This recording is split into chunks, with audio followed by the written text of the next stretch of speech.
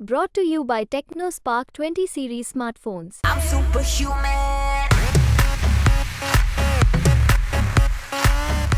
Hello मंच पे मौजूद पंजाब के बेहद लोकप्रिय मुख्यमंत्री भगवंत मान साहब मंच पे मौजूद ईशुदान भाई गोपाल भाई चैतर भाई उमेश भाई राजू सोलंकी भाई और यहाँ पे आए हुए हमारे पूरे गुजरात से जगह जगह से आए हुए हमारे गुजरात के आम आदमी पार्टी के सभी नेतागण, सभी कार्यकर्ता, सभी अधिकारीगण, सभी मीडिया के साथी, सबको मेरा नमस्कार, सबको मेरा प्रणाम।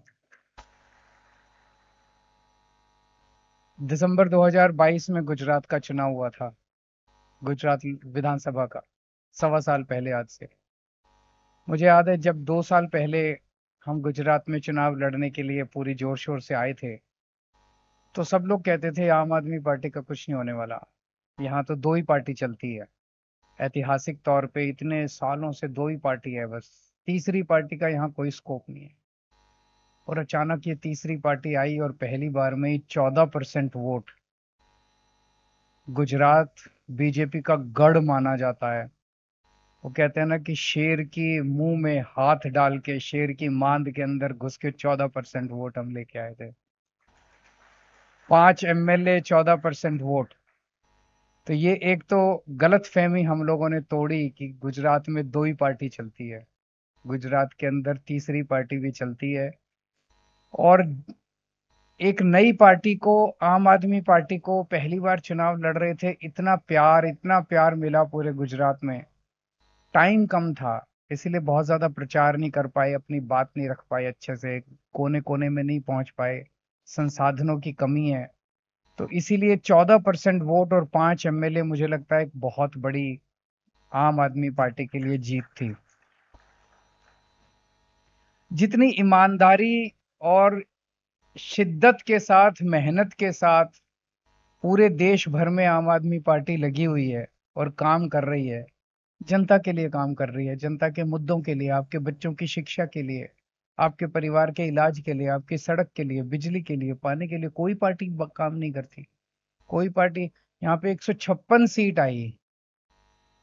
गुजरात में 156 सीट दी लोगों ने बीजेपी को, और क्या देंगे? इससे फालतू क्या प्यार देंगे लोग? मैं देख रहा हूँ, सवा साल में एक धेले भर का काम नहीं किया 156 सीट आने के बाद। उसके थोड़े दिन पहले हमारी पंजाब में सरकार आई है, पंजाब में इतने काम हो रहे हैं, इतने काम हो रहे हैं, पंजाब के अंदर अभी मान साहब गिना रहे थे। और ये क्या एक सौ छप्पन आ गए अभी भी दूसरी पार्टियों को तोड़ तोड़ के अपने में ला रहे हैं, अभी भी दूसरी पार्टियों के एमएलए तोड़ तोड़ के ला रहे हैं। तो ये काम करने, एक ही पार्टी है आज देश के अंदर जो देश के लिए काम कर रही है, भविष्य के लिए काम कर रही है। और मेरा दिल कहता है, एक दिन ऐसा ज़रूर आएगा, जब इस देश को भाजपा से मुक्ति आम आदमी पार्टी दिलाएगी मेरा दिल कहता है, एक दिन ऐसा ज़रूर आएगा, जब केंद्र के अंदर आम आदमी पार्टी सरकार बनाएगी। और जब वो दिन आएगा, और जब आम आदमी पार्टी का इतिहास लिखा जाएगा, और ये देखा जाएगा कि एक छोटा सा नन्ना सा पौधा जो 2012 में शुरू हुआ था, वो बढ़ते बढ़ते बढ़ते राष्ट्र पार्टी कब बनी और किसने बनाई? तो गुजरात का नाम सुनहरी अक्षरों में लिखा, गुजरात के लोगों ने बनाई। गुजरात के लोगों ने राष्ट्र पार्टी बनाई और गुजरात के लोगों ने आम आदमी पार्टी को राष्ट्र के ऊपर मानचित्र के ऊपर खड़ा किया। पिछले दो चुनाव से 2014 और 2019 दो चुनाव से आप 26 की 26 सीट भाजपा को देते आ रहे हो। क्या मिला आपको? भाजपा को 26 की 26 सीट दी, इन 26 लोगों ने आपके लिए कोई काम किया? एक भी काम किया? क्या मिला आप लोगों को? इतनी समस्याएँ आई आपकी, इतनी समस्याएँ आई। पेपर लीक हुए, इतने पेपर लीक हुए और फिर पेपर लीक हो रहे हैं। एक भी बार, एक भी सांसद ने, एक भी एमपी ने संसद में आपकी आवाज़ उठाई। कितनी बार शराब घोटाले हुए, यहाँ पे शराब की वजह से कितने लोग मारे गए? एक भी सांसद ने आपकी आवाज़ कहाँ थे वो लोग जब आपके यहाँ पे शराब घोटाला हो रहा था और शराब की वजह से, नकली शराब की वजह से यहाँ पे लोग मर रहे थे? कहाँ थे आपके 26 के 26 सांसद? घर में बैठ के सो रहे थे। कहाँ थे आपके 26 के 26 सांसद जब आपके बच्चों की परीक्षाएँ लीक हो रही थी? कहाँ थे आपके 26 सांसद घर में बैठ के सो रहे थे? जब आपके बच्चे बेरोजगार बेरोजगार बच्चे सड़क के ऊपर रोज़गार के लिए धरने करते हैं, प्रदर्शन करते हैं, पुलिस उनके ऊपर लाठियाँ चलाती है कहाँ, आपके 26 सांसद कहाँ रहते हैं? घर के अंदर सो रहे होते हैं। क्या फ़ायदा ऐसे 26 सांसदों को चुनने का? क्या फ़ायदा ऐसे 26 सांसदों को चुनने का? हमें क्या मिलता है कि ऐसे ऐसे ऐसे सांसदों कहाँ थे ये लोग? आज मैं गुजरात के लोगों को यही कहने के आया हूँ, आप 26 उनके देते हो। इस बार, एक बार, दो मेरे दे के देख लो।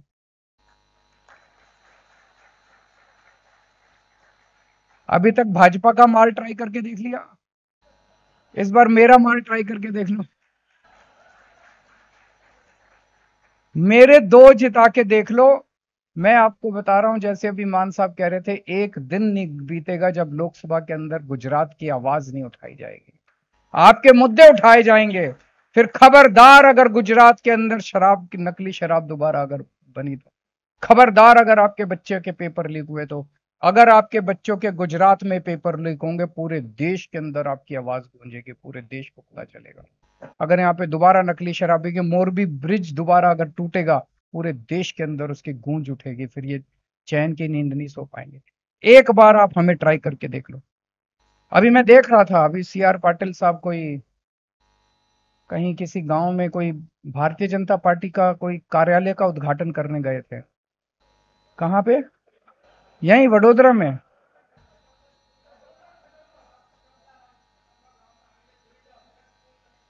हाँ खटम्बा गाँव में भारतीय जनता पार्टी का ऑफ़िस का उद्घाटन करने गए थे। वहाँ एक सरपंच खड़े हुए। और सरपंच ने बोला कि, साहब, हमारे यहाँ पे स्कूल नहीं है। पूरे देश के अंदर इनके फाइव स्टार दफ्तर बन रहे हैं भारतीय जनता पार्टी के। स्कूल नहीं बन रहे पूरे देश के अंदर। दिल्ली में स्कूल बन रहे हैं। आम आदमी पार्टी का दफ्तर नहीं है दिल्ली के अंदर।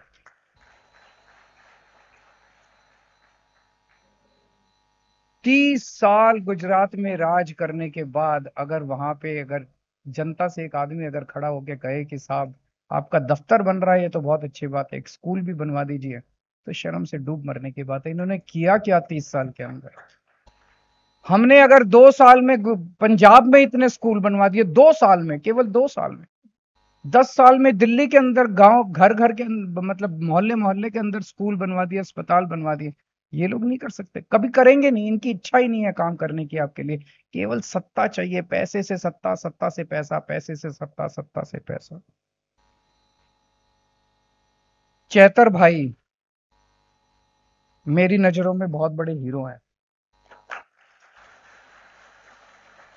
और मुझे बेहद गर्व है कि चैतर भाई हमारी पार्टी में आज के दौर में ऐसे बहुत कम लोग मिलते हैं जो दूसरों के लिए जेल जाते हैं, दूसरों के लिए सब कुछ कुर्बान कर देते हैं। इनको गिरफ़्तार किया गया। क्यों गिरफ़्तार किया गया? फॉरेस्ट डिपार्टमेंट वाले इनके इलाके के अंदर गरीब किसानों की जमीनें छीन रहे थे। यही था ना मामला। जमीनें छीन रहे थे। इन्होंने बीच में पढ़ के उनको फॉरेस्ट डिपार्टमेंट वालों को रोका, किसानों को उनकी जमीनें वापस दिलवाई और यही केस करके इनको गिरफ़्तार करके जेल में डाल दिया गया। हद तो तब हो गई बीजेपी वाले इतने गिर गए। अरे तुम्हारी लड़ाई तो चैतर से है। चैतर को नहीं, उनकी वाइफ को भी पकड़ के जेल के अंदर डाल दिया। इतना गंदा और कौन होता है इतना गंदा? अरे तुम्हारी लड़ाई उनसे, उनकी वाइफ को तो छोड़ दो कम से कम बख्श दो। परिवार को तो बख्श दो कम से इतने गंदे लोग हैं। उनका मकसद क्या था? उनका मकसद था चैतर को तोड़ना। उसके पहले भी साल भर से चैतर के चक्कर लगा रहे थे। बहुत दिनों से चैत, तू आ जा हमारी पार्टी में, तू आ जा। वो यही करते हैं। इतने करोड़ रुपए ले ले, तू आ जा हमारी पार्टी में, आम आदमी पार्टी में। क्या जब नहीं टूटा चेतर तो उसको गिरफ़्तार कर लिया। जेल में इतनी बार बीजेपी वाले मिलने के लिए गए आ जा कब तक जेल में रहेगा, ये करेगा, वो कब कब तक? हम दोनों मिलने गए थे, मैं और भगवंत मान दिल्ली से आए थे, हम दोनों मिलने के लिए गए थे चेतर भाई से और उनकी वाइफ से जेल के अंदर। चेतर नहीं टूटा, उनकी वाइफ भी नहीं टूटी। चेतर को, चेतर तो चलो राजनीति के अंदर है, राजनीति में ये चलता रहता है। जब उनकी वाइफ से हम जेल में मिले तो उनकी वाइफ के चेहरे पे भी मुस्कान थी। हमें लगा वो नाराज़ होंगी, हमसे गुस्सा होंगी। हम दोनों आए हैं कि क्या कर रहे हो आप लोग? हमारा तो परिवार बर्बाद हो गया ये। नहीं, वो भी मुस्कुरा रही थी और मुस्कुरा के उन्होंने कहा, चिंता मत कीजिए, हम यहाँ पे ठीक हैं। मतलब सलाम करता हूँ मैं इनकी वाइफ को। आज ये दोनों वापस आए हैं और मैं उम्मीद करता हूँ कि भरूच सीट से वहाँ के लोग इनको भारी बहुमत से जिता के, ऐतिहासिक बहुमत से जिता के भेजेंगे। उन्होंने मैं सुन रहा था, अभी बोला पचास हज़ार पचास हज़ार नहीं, ऐतिहासिक बहुमत से जीत होनी चाहिए चेतर भाई की। मैं ये भी कहना चाहता हूँ, वहाँ पे इनके खिलाफ बीजेपी ने मनसुख भाई को दोबारा टिकट दिया। मनसुख भाई अब बेचारे बुज़ुर्ग हो गए हैं। रिटायर उन्होंने इस्तीफा भी दे दिया था, मुझे पता चला। बीजेपी से उन्होंने इस्तीफा भी दे दिया था। उनका इस्तीफा नहीं लिया उन लोगों ने। तो आप, चैतर युवा है, वो आपके लिए काम करता है, आपके लिए जुझारू आदमी है, रात दिन आपके लिए काम करता है। मनसुख भाई को तो तीस साल हो गए, तीस साल से अब बहुत होते हैं, तीस साल। अब नया आदमी ट्राई करो ना, उसको छोड़ो, अब नया आदमी ट्राई करो। तो मैं भरूच की जनता से यही अपील करता हूँ, ना पूरे भरूच के अंदर गरीब इलाका है आदिवासी लोग हैं और इन लोगों को आदिवासियों से नफरत है बीजेपी वालों को। हेमंत सोरेन के साथ बताओ क्या किया? मैंने पूरा केस स्टडी किया, हेमंत सोरेन बिल्कुल निर्दोष हैं। क्यों उसको पकड़ के डाला? आदिवासी है, इसलिए उसको पकड़ के जेल में डाल दिया। सबसे बड़ा आदिवासी, आज अकेला आदिवासी मुख्यमंत्री है पूरे देश के अंदर। उसको पकड़ के उन्होंने जेल में डाल दिया। तो नफरत करती है भारतीय जनता पार्टी आदिवासियों से। आज पूरे आदिवासी क्षेत्र जितना भी है गुजरात के अंदर, उसको सबसे पिछड़ा क्षेत्र बीजेपी वालों ने रखा। तीस साल में बाकी जगह थोड़ा बहुत डेवलपमेंट किया हो किया हो। लेकिन गुजरात के आदिवासी क्षेत्र के अंदर कोई स्कूल नहीं बनाए, कोई अस्पताल नहीं बनाए, कोई रास्ते नहीं बनाए, कुछ नहीं। केवल केवल जितना पैसा आदिवासियों का आता है, वो सारा पैसा खा जाते हैं ये लोग। तो मेरी एक रिक्वेस्ट है, अपील है पूरे आदिवासी क्षेत्र से, इस बार अपने बेटे को, चैतर को जिता के भेजिए। हमारे भावनगर से हमारे उम्मीदवार उमेश भाई। मुझे नहीं पता ये कितने लोगों को पता है कि विधानसभा चुनाव के कुछ महीने पहले उमेश भाई के ऊपर बीजेपी वालों ने जानलेवा हमला किया था। वो तस्वीरें अगर आप देखेंगे तो आप भी डर जाएँगे। अस्पताल की इनकी तस्वीरें इतना मारा था, रॉड से मारा था इनको, इनके पैर टूट गए थे। एक बार तो लगा था कि बचेंगे कि नहीं बचेंगे, लेकिन वो वहाँ से निकल के आए हैं। और किस लिए वो भी कह रहे थे कि तू भी आम आदमी पार्टी छोड़ के आ जा, आम आदमी पार्टी।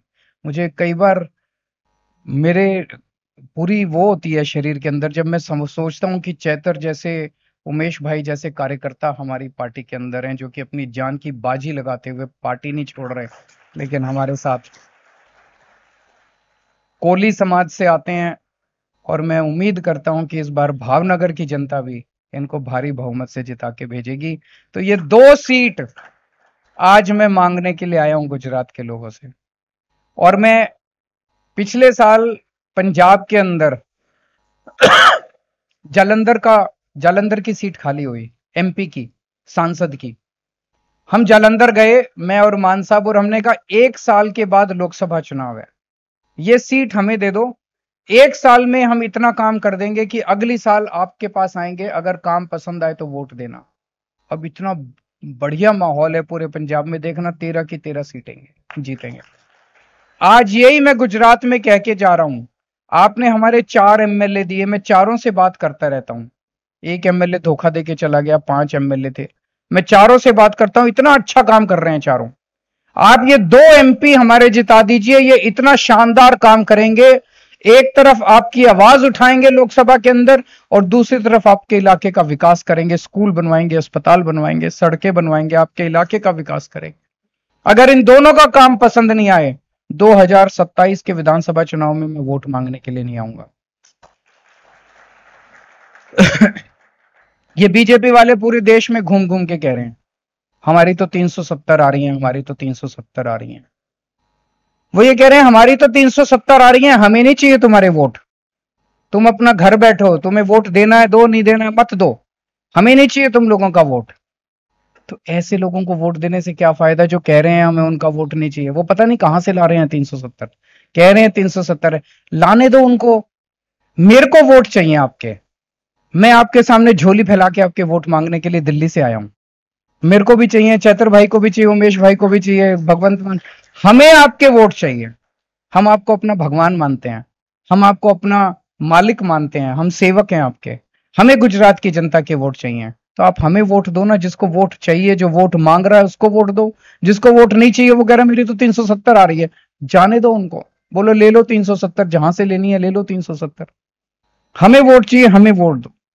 तो एक मौका और आप हमें दीजिए। एक मौका देके देखिए। और मैं आपको यकीन दिलाता हूँ कि गुजरात के लोग आम आदमी पार्टी को एक बार आप दो एमपी जिता दीजिए 2027 के अंदर आम आदमी पार्टी की सरकार बनेगी गुजरात के अंदर और फिर कोई उसको हिला नहीं पाएगा। बहुत बहुत आभार।